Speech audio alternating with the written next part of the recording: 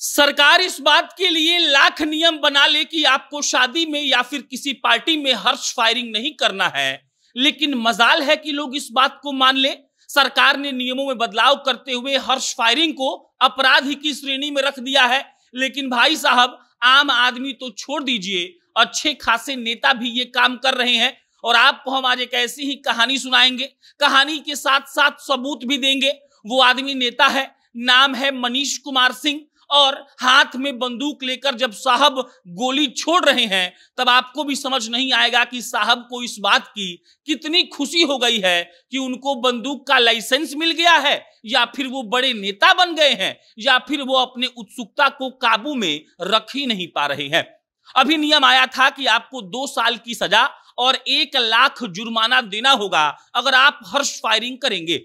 हमने आम आदमी को देखा है, दूल्हा दुल्हन के साथ स्टेज पर जाकर बंदूक निकालकर हर्ष फायरिंग करते हुए। लेकिन एक आदमी जो नेता है, एक आदमी जिसकी पहुँच दूर दूर तक है, एक आदमी जिसके भाई साहब राजद युवा के महासचिव हैं, वो खुद अपने आप को जदयू का नेता बताते हैं। वो भाई साहब जब हाथ में बंदूक लेकर ठाए ठाए करने लगे और बिना मतलब का करने लगे, तब सवाल उठाना ज़रूरी है। और आपको आज हम मोतिहारी के अगर स्पेसिफिकली बात करें तो चकिया जिला के मतलब कि जो पूर्वी चंपारण में पड़ता है, मनीष कुमार सिंह के बारे में बताएँगे। लेकिन उससे पहले नमस्कार स्वीकार करिएगा। मेरा नाम प्रशांत राय है। ये वीडियो कान्हा सेल्स के द्वारा प्रायोजित है।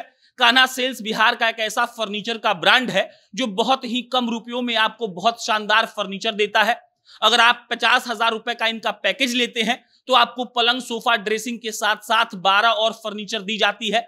अगर आप अठहत्तर हज़ार का पैकेज लेते हैं तो पलंग सोफा ड्रेसिंग के साथ साथ फ्रिज कूलर और वॉशिंग मशीन भी दी जाती है। इनकी सबसे अच्छी बात यह है कि बिहार, उत्तर प्रदेश और झारखंड के 100 किलोमीटर के रेडियस में ये लोग मुफ़्त में डिलीवरी करते हैं और उससे भी अच्छी बात यह है कि कम पैसों में जो ये लोग कम अच्छा फर्नीचर दे रहे हैं, इसका मतलब ये नहीं कि इनका क्वालिटी खराब है। दरअसल इनके पास अपना मैन्युफैक्चरिंग यूनिट है, जिसके चलते ये लोग कम दाम में भी अच्छा फर्नीचर दे पाते हैं। अभी आप अपने स्क्रीन पर एक वीडियो देख रहे होंगे, जिस वीडियो में आपको मनीष जी बंदूक से गोली छोड़ते हुए दिख जाएँगे।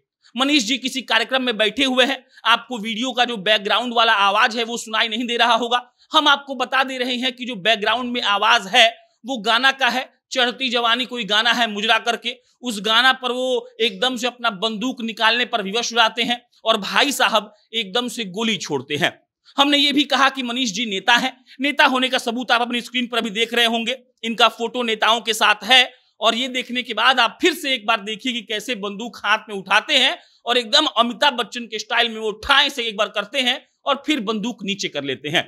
हमने जब इनके बारे में पड़ताल की तो मालूम पड़ा कि इन भाई साहब के बड़े भाई जो हैं, वो युवा राजद के महासचिव हैं और उनका नाम है संतोष कुमार उर्फ़ सुनील सिंह और इनका नाम है मनीष सिंह। मनीष जी का एकदम से नेताओं के साथ उठना बैठना है और मनीष जी पर एक एफआईआर दर्ज है पुलिस के साथ। शायद झगड़ा झंझट उन्होंने किया था, शराब वाला कुछ मैटर था। उसके भी एफआईआर का स्क्रीनशॉट हम लगा रहे हैं, आप देख लीजिए। और उसके बाद ये तय कर लीजिए कि हर्ष फायरिंग क्या सिर्फ़ लौंडे लपाटे करते हैं, नए लड़के करते हैं जिनके हाथ में लाइसेंसी गन नहीं होता है। लेकिन अब मेच्योर आदमी भी जो नेता कहला रहा है वो अपना लाइसेंसी निकाल कर ऑर्केस्ट्रा में ठाए से ना मार दे रहा है और हमारे सूत्रों ने कंफर्म किया है कि ये मनीष सिंह ही हैं जो खुद को जदयू का नेता बताते हैं। इनके बड़े भाई युवा राजद के महासचिव हैं और ये भाई साहब बंदूक से ठाए ठाए करने में खूब विश्वास रखते हैं।